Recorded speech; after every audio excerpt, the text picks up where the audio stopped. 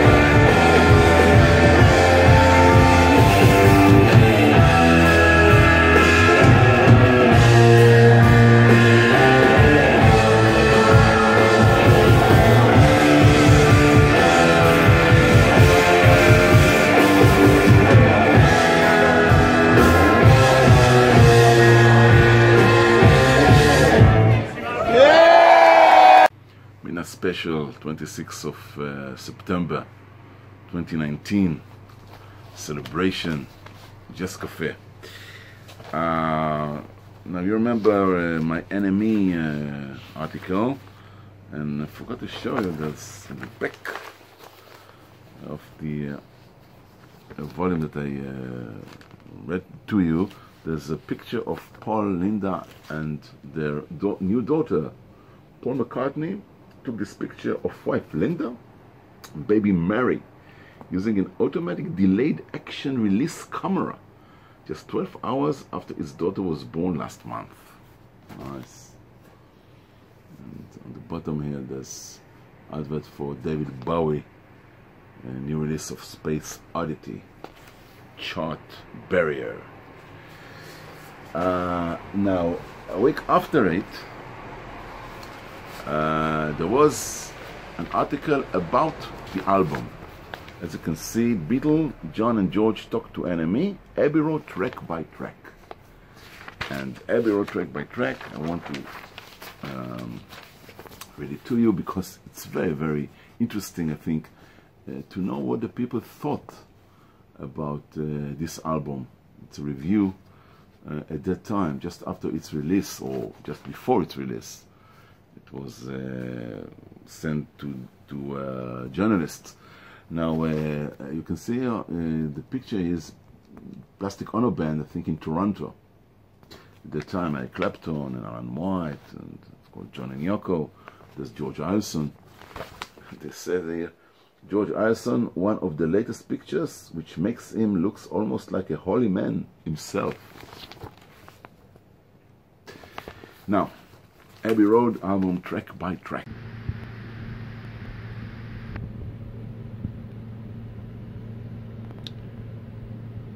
A young lady wrote to radio once, seen and heard at the weekend.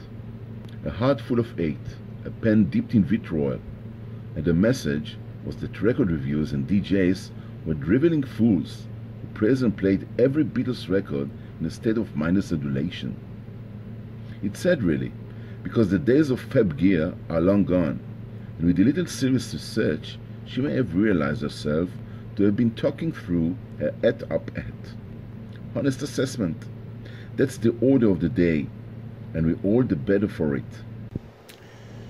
Having said that, it also has to be said that the new Beatles Apple LP, Abbey Road, is released next week. It's beautiful, blistering music, something of Revolver, something of its own. It exceeds the double album, and parts of it touch the heights of Sgt. Pepper. Original and honest. Even when it dips, show me any other group packing so much originality of composition and honest pop music to one album. Show me. Track 1, Side 1 is a rambling, rolling piece called Come Together, with a rasping Lennon vocal, down to the ground bass, and a jerky stop up flow, helped along by the thumping Ringo drum. There's no other way to describe it. It's funky, and it's probably the funkiest thing the Beatles have ever done. Nice word, too. And I raise my eyebrows to that. Next, it's Something, one of the two contributions by George Harrison. Lovely. Something in the way she moves me. Floating, aching melody, virtually about the best thing is ever written. Sadness in a crying blend of piano and strings.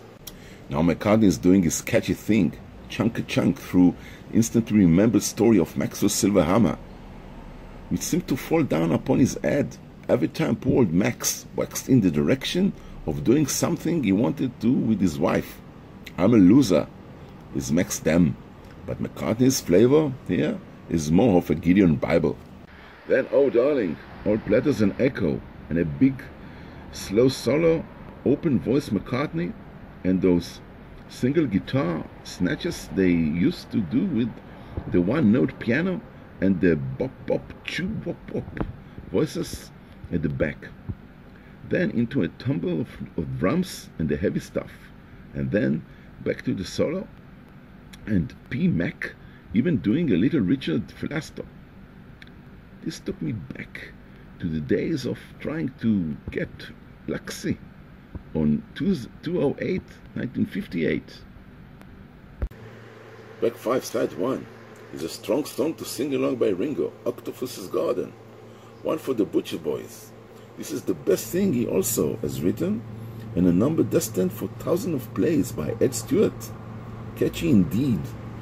And if you whistled Yellow Submarine first time, this is for you.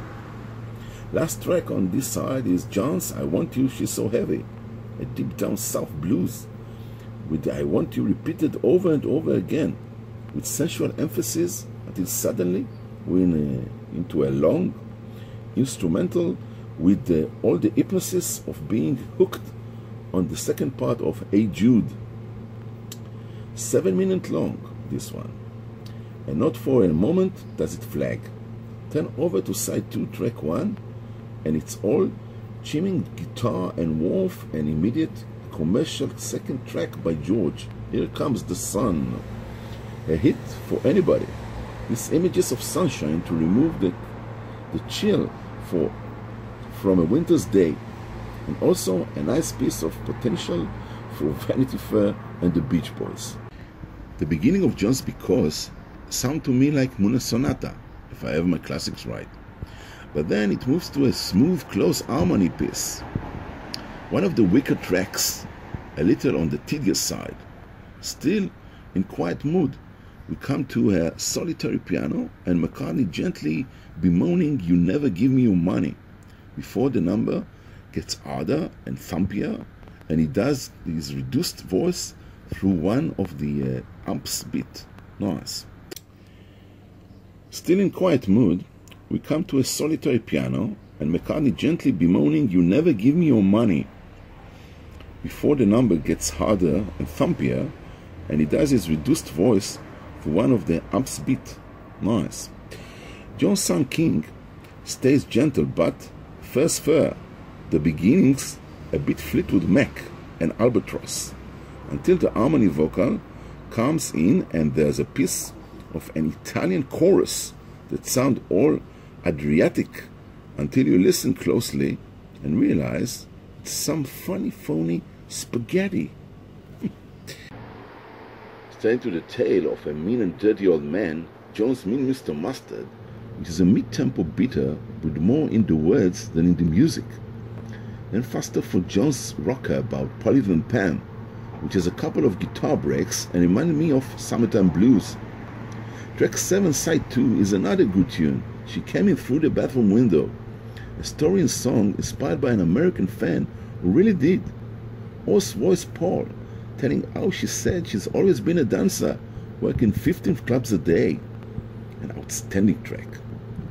Golden Slumbers open with piano and solo McCartney in full on the hill mood, backed by strings and a nice hook about and I will sing a lullaby. Coming to a close now, and the joint composition Carry That Weight is a solid mess of voices, mid-tempo into a well-disciplined, well-rehearsed pub chorus until the refined wind section comes in, in and then there's some solid guitar. There's a fusion of music towards the end, but among it, listen to the beautiful piece of percussion drumming by Ringo, included in the end. Then a piece of uh, silence, and then a split second thing called Her Majesty, sung by Paul. This album is almost always brilliant, and only occasionally fair. That's a review.